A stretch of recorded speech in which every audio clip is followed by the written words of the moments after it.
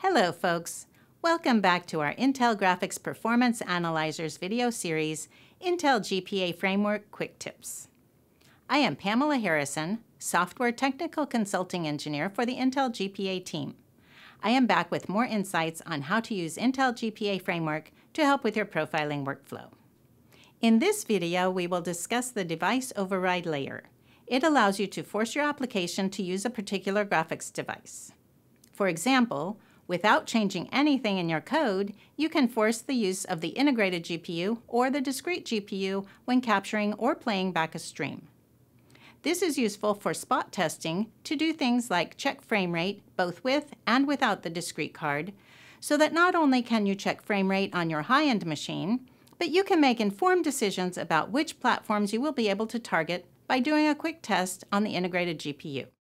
To capture a stream, use GPA injector as usual and add the device override layer, specifying the GPU.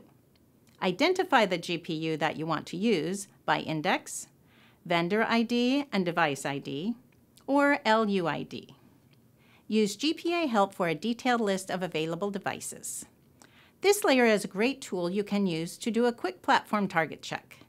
Maybe you thought you could only target high-end gaming platforms, but with a quick stream capture using your iGPU, you can count the number of frames that drop below a particular frame rate.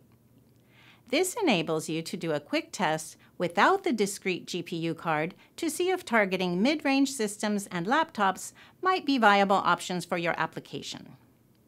As I said earlier, the device override layer works with both capture and playback. Let's look at a scenario. Say you want to test whether your explosion scene will capture enough data on an integrated GPU to be feasible.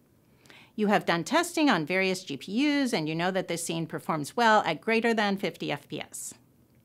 Capture a stream with the iGPU in the explosion portion of your game, then run that stream through our GPA Stream Analyzer utility to get the time each frame took in milliseconds. You may know that frames at 20 milliseconds are running at 50 frames per second, and frames at 25 milliseconds are running at 40 frames per second. So, if fewer than, say, 10% of the frames are taking slightly more than 20 milliseconds, you might make the business decision to test on mid-range platforms and expand your market share. Depending on how much data your team or manager needs, either eyeball the list of times to determine how many frames exceed 20 milliseconds, or count the number of frame times greater than 20 milliseconds using a script. You may not need this layer frequently, but device override is there for you in GPA Framework when the need arises. Thanks for watching. Tune in for our next quick tip video for more insights on profiling with Intel GPA Framework. Remember to like this video and subscribe to the Intel Software YouTube channel.